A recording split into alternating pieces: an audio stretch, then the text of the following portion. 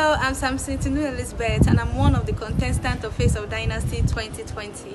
Considering the fact that there is more to the existence of being a female child other than just getting pregnant or being a vessel of fun, I believe being the next Face of Dynasty will provide a larger platform to intensify the outreach of self-empowerment, high self-esteem, appropriating our voices as female children and realigning the society's perspective to the fact that as female children, we have great ideas to contribute to the geometric progression of the development of Nigeria. Thank you.